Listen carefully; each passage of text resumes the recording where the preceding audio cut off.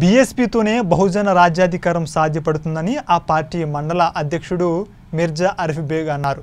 ఆదిలాబాద్ జిల్లా ఇంద్రవెల్లి మండల కేంద్రం అంబేద్కర్ భవనంలో బహుజన బాంధవుడు మానేశ్రీ కాన్సీరాం పదిహేనవ వర్ధంతి పురస్కరించుకుని ఆయన చిత్రపటానికి పూలమాలలు వేసి శ్రద్ధాంజలి ఘటించారు. ఈ సందర్భంగా ఆయన మాట్లాడుతూ దేశంలోనే అతిపెద్ద రాష్ట్రమైన ఉత్తరప్రదేశ్లో సైకిల్పై ఊరూరా తిరిగి బీఎస్పీని అధికారంలోకి తీసుకొచ్చిన ఘనత మాన్యశ్రీ కాన్షీరామ్కి దక్కుతుందని అన్నారు. రాష్ట్రంలో బీఎస్పీ అధికారంలోకి రావాలంటే భారత రాజ్యాంగ నిర్మాత డాక్టర్ బాబాసాహెబ్ అంబేద్కర్ సాధించి పెట్టిన ఓటు అనే హక్కును మన కోసమే